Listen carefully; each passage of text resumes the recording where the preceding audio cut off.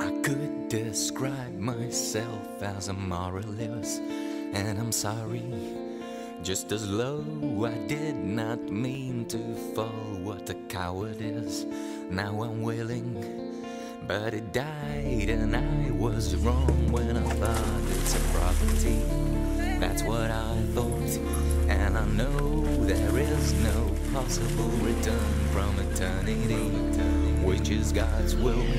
It would grow as we would see into personality, which I murdered.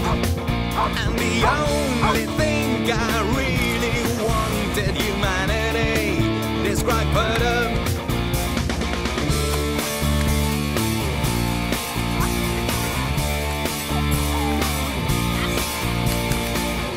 I got to break in your heart and apologize.